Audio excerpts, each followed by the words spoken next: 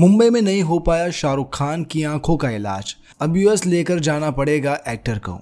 IPL match के दौरान शाहरुख खान को लेकर एक चौंकाने वाली खबर आई थी। दरअसल 21 मई 2024 को शाहरुख खान को हीट स्ट्रोक हुआ था, जिसके बाद उन्हें जल्दबाजी में अहमदाबाद हॉस्पिटल ले जाया गया था। और उस दौरान हीट स्ट्रोक की वजह से उनकी तबीयत खराब हुई थी। अब खबर है कि फिर एक बार शाहरुख खान की तबीयत खराब हो गई है, जिसके ट्रीटमेंट के लिए वो यूएस जाएँगे। बॉलीवुड हंगामा की रिपोर्ट की माने तो शाहरुख खान की आँखों में दिक्कत हो गई है, जिसके लिए 29 जुलाई को वो मुंबई में ट्रीटमेंट लेने गए थे। मगर किसी वजह से उनका वो ट्रीटमेंट मुंबई में पूरा नहीं हो सका है, जिसके चलते अब शाहरुख खान को जल्द से जल्द यूएस ले जाना पड़ेगा, जहाँ उनका बाकी का इलाज करवाया जाएगा। इसी रिपोर्ट में यह भी बताया गया है कि शाहरुख खान आज यानी कि 30 जुलाई को ही यूएस के लिए रवाना हो जाएँगे। हालाँकि सोर्स ने यह बताया नहीं कि शाहरुख खान को असल में क्या समस्या हुई है। कई मीडिया रिपोर्ट्स में यह भी दावा किया जा रहा है कि शाहरुख खान को मोतियाबिंद हो गया है, जिसके ट्रीटमेंट के लिए शाहरुख खान को यूएस ले जाना पड़ेगा। बस उम्मीद है कि शाहरुख खान जल्द से जल्द ठीक हो जाए, क्योंकि इस खबर के सामने आने के बाद फैंस उन्हें लेकर काफ़ी चिंतित है और उन्हीं के लिए दुआएँ कर रहे हैं।